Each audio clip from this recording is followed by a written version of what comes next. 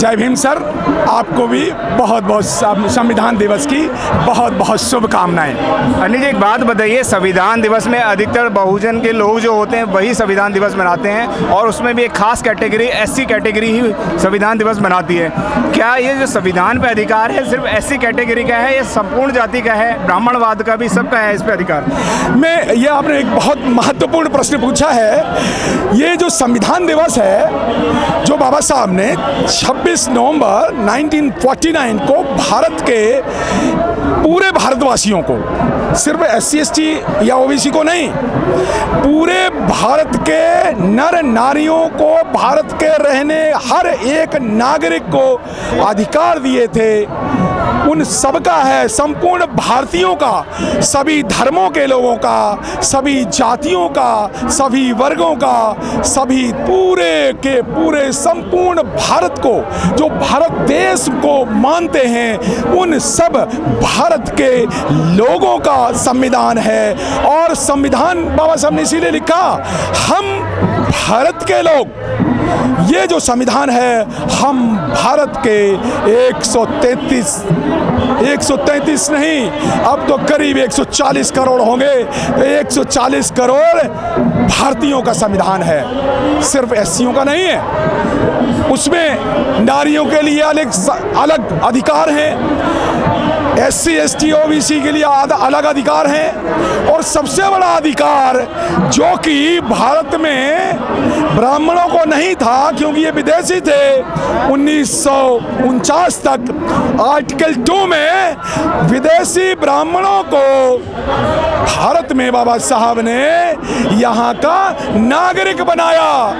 ये मैं उनको बताना चाह रहा हूँ, जो लोग इस संविधान की क्रिटिसाइज करते हैं, खासकर उन लोगों के लिए संदेश है, धन्य करो बाबा साहब अंबेडकर का कि 26 नवंबर उन्नीस सौ उनचास को जो लोग जो लोग, जो कहते हैं राहुल संस्कृताइन जी, वोलगा से गंगा तक उन लोगों को जो, भाई हम नहीं नहीं लिखा। राहुल संस्कृताइन जी वोलगा से गंगा तक में कहते हैं कि ब्राह्मण लोग आर्य ब्राह्मण बाहर से आए, विदेशी हैं। Jawaharlal Nehru discovery of India में कहते हैं कि ये ब्राह्मण लोग विदेशी हैं। लेकिन उन सभी उन सभी को बाबा साहब अंबेडकर ने संविधान की आर्टिकल दो में यहाँ का मूल नागरिक बनाया।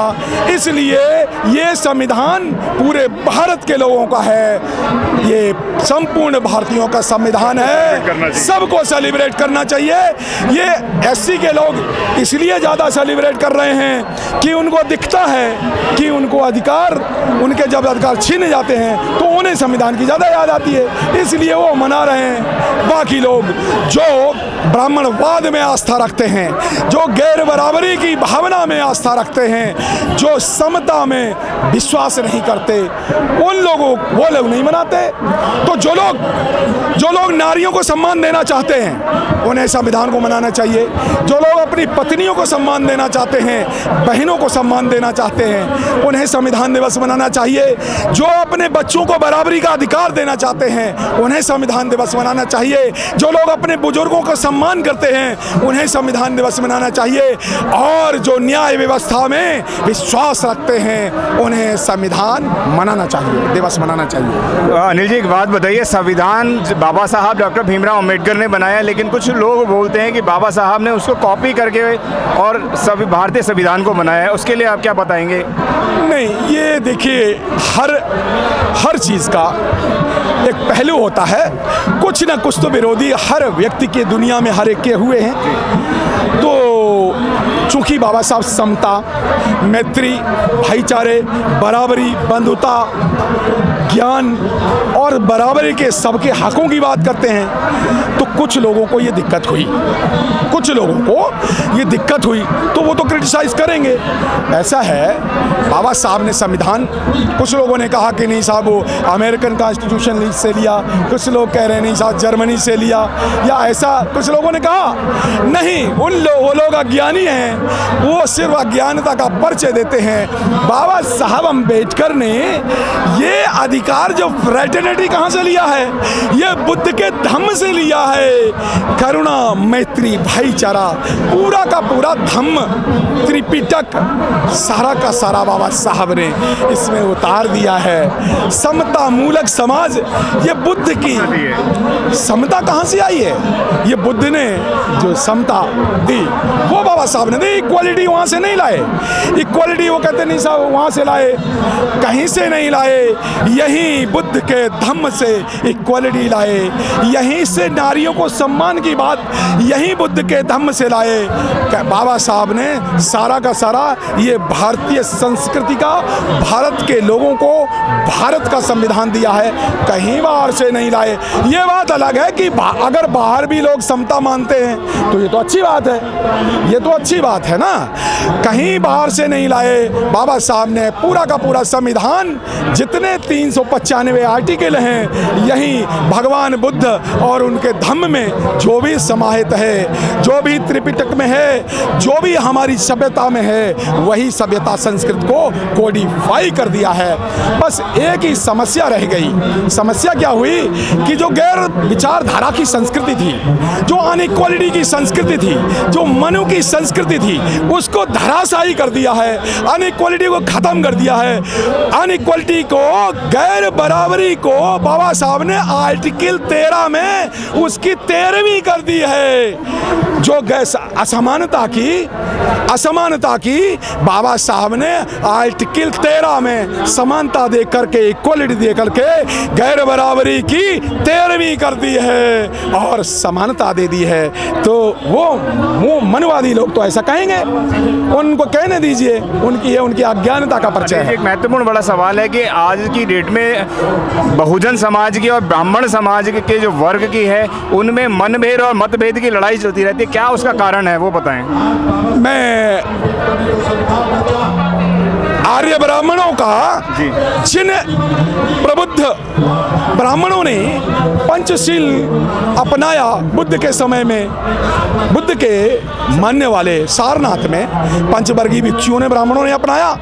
ये देश बहुत आगे बढ़ करके और भारत सोने की चिड़िया कहलाया। बाबा साहब अंबेडकर के साथ ऐसा ही प्रबुद्ध ब्राह्मणों ने साथ दे करके मनुष्य सहस्त्र बुद्ध नाम के ब्राह्मण ने मनुस्मृति जलाई। तो मैं आर्य ब्राह्मणों को भी कहना चाहता हूँ, देखिए समय बदल गया है। उन्हें बदलाव का साथ देना चाहिए। उन्हें संविधान में जो ये जो लोग कह रहे हैं कि नहीं साहब, अब पुरानी पीढ़ी छोड़ो ना। आओ आओ भारत के निर्माण में। भारत के ब्राह्मण, भारत के निर्माण में समता, मैत्री, भाईचारा में सहयोग दें। मैं उनका भी आह्वान करना चाहता हूँ। अदरवाइज़ अगर नहीं माना तो फिर अनइक्वालिटी के लिए एक सजा है। अगर महिलाओं पे अत्याचार किए तुम्हारी मनुस्मृति में। उसके लिए सजा है। उसके लिए बाकायदा बाबा साहब ने चोरी, बलात्कार, हिंसा सबके लिए सजा है। और ये सजा का परिणाम मौत की भी सजा हो सकती है। देश से बाहर भी जा सकते हैं और तिहाड़ जेल में भी बंद हो सकते हैं। जो लोग संविधान नहीं मानेंगे, उनका स्थान है तिहाड़ जेल। तो जो असमानता वाले, ये जो ये जो है ना, समरसता वाले, ये ध्यान रख लें। समता शब्द से छेड़छाड़ मत करना, नहीं तुम्हारा स्थान तिहाड़ जेल है। समरसता वालों, ये ध्यान सुन से सुन लो कि अगर समता में विश्वास नहीं किया तो तुम्हारा जो जगह है, सही जगह है, तिहाड़ जेल। भारत के संविधान के अनुसार।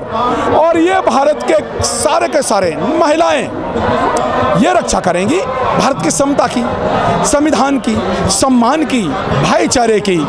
तो हम भारत के लोग, आज ये भारत के लोग, बहुजन लोग सड़क पे उतार आकर के ये बता रहे हैं कि भारत का समाज जाग चुका है।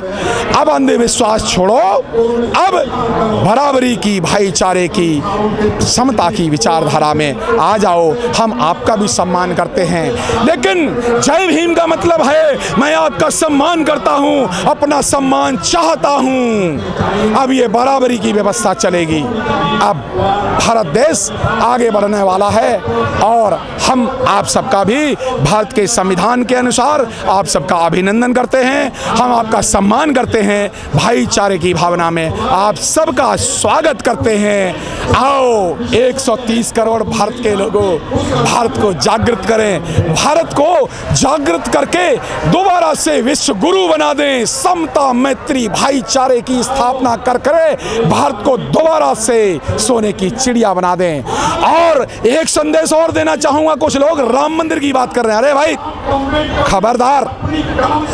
यहाँ छह यहाँ पर छह धर्म हैं। हिंदू, मुस्लिम, सिख, ईसाई, क्रिश्चियन, बौद्ध, जैन।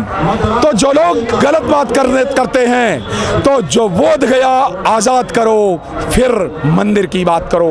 मंदिर बनाने से पहले आप जान लो कि वहाँ बाबरी बौद्ध बिहार था तो फिर वहाँ पहले बाबरी बौद्ध बिहार बनना चाहिए। और राम मंदिर बनाने वालों को संदेश है कि महाबोधि विहार पर जो आपने कब्जा कर रखा है, उस कब्जे को छोड़ दो। तुम्हें कोई अधिकार नहीं है। राम मंदिर की बात करने का भी बुद्ध गया, आज़ाद करो। फिर मंदिर की बात करो, क्योंकि बाबा साहब के, बाबा साहब के संविधान में समानता है। धार्मिक समानता, राजनीतिक समानता, शैक्षिक समानता लिंग की समानता, भाषा की समानता, सभी नागरिकों को समानता का अधिकार है। सभी धर्मों को समानता का अधिकार है। इसलिए मैं आप सबको बिल्कुल संदेश देना चाह रहा हूँ भाईचारा फैलाओ घृणा की भावना बंद करो। आप सबका अभिनंदन है और एस एस एम चैनल का मैं धन्यवाद देता हूँ कि आपने मुझे यहाँ बात की। थैंक यू अनिल जी बहुत बहुत धन्यवाद जय भीम। नमो बुद्धाय। जय भारत। जय मूल्यवासी